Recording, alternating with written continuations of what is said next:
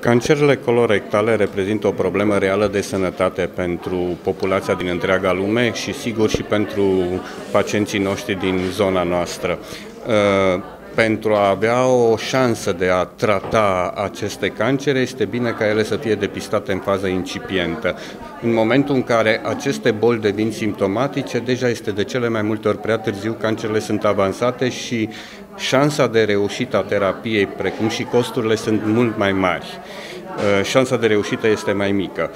De aceea, în orice țară civilizată se acordă o importanță deosebită pentru profilaxia cancerului de colon și depistarea lui în fază incipientă. Asta înseamnă ca prin protocoale care există la nivel național să faci depistarea cancerului în fază incipientă, iar pentru leziunile cu potențial de cancerizare pe care le găsești cu această ocazie să le rezolvi endoscopic sau chirurgical. Marea majoritate se rezolvă endoscopic.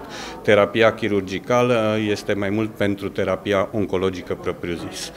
Sigur că prin proiectul ăsta noi încercăm să stabilim niște protocoale de lucru, să facem un pionerat în uh, profilaxia cancerului de colon, pentru că, din păcate, la nivel național nu avem programe care să sprijine lucrul ăsta.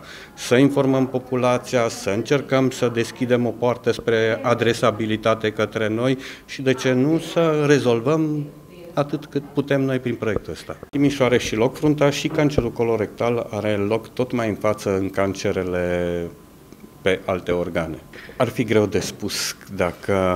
Nu, nu, nu cred că sunt în stare să vă dau o explicație medicală pentru asta. Este posibil, pe de o parte, și prin faptul că aici se depistează totuși mai mult decât în alte județe ale țării, având posibilitatea să o facem, nu numai noi, că și celelalte județe cu centre medicale mari pot să o facă.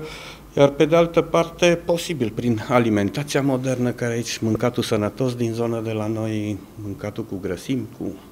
E discutabil, oricum nu pot să spui că există un factor anume. Dar e o cauză. Posibil, da.